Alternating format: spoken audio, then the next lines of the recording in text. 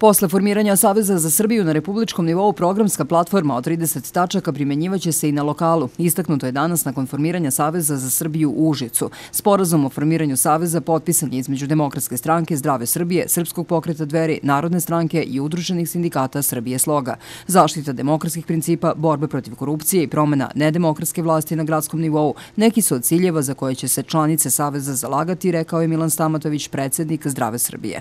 Kao što je to bio primer i princip Sevojna, kada smo se manje bazirali na te procente koliko koja politička partija ima, već sam je bilo značajnije da odaberemo na časne, poštene ljude koji će predstavljati svoje mesto i svoje građane, tako da će i ovde biti u Užicu sigurno težište i akcija bačen na to da se formira jedna stvarno dobra odbornička lista koja će parirati sigurno ovoj tamo vladajućoj koalicijonoj. Na tome se, dodaje Stamatović, već radi jer se nadzire i pretpostavlja da će u Užicu izbora biti već naredne 2019. godine. Ovdje ima puno tema o kojima mi možemo da pričamo i ja kao predsjednik opštine tu komšijske, e, gdje imam dugogodišnje iskustvo u tim opštinskim odlukama, o punjenju budžeta, o ekonomskim tim planovima, razvoju jedne lokalne samuprave i razloga za kritiku. Kada kritikujem, ja dajem i rešenja. Znači, za sve ovo što pričamo, da mi dajemo, daćemo i rešenja kako grad Užice može da napravi mnogo bolje rezultate.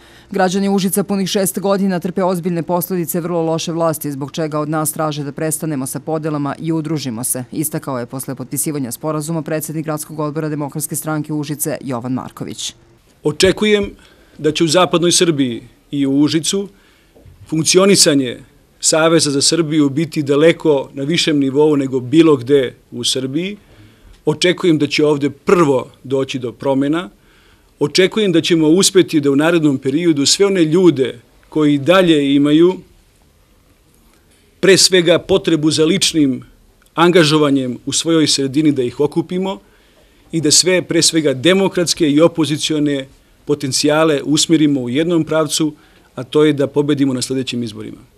Sporazum predviđa da svaka stranka, udruženje ili pokret koji ulazi u Savez ima svoje samostalno funkcionisanje. Njihove aktivnosti se ne zamrzavaju, već se nastavljaju, ali će imati i zajedničko delovanje. Potpisnici sporazuma naglašavaju i da su otvoreni za saradnju koja će se u narednom periodu odvijati kroz zajedničke nastupe na sednicama Skupštine, na tribinama za građane, ali i u obilasku građana u gradskom i seoskom području. Sve sa ciljem da se građanima predstavi program Saveza sadržan u 30 tačaka i da im na taj način ponude alternativu aktuelne vlasti, alternativu koja želi da, kako ističu, menja sve što u Užicu nije dobro.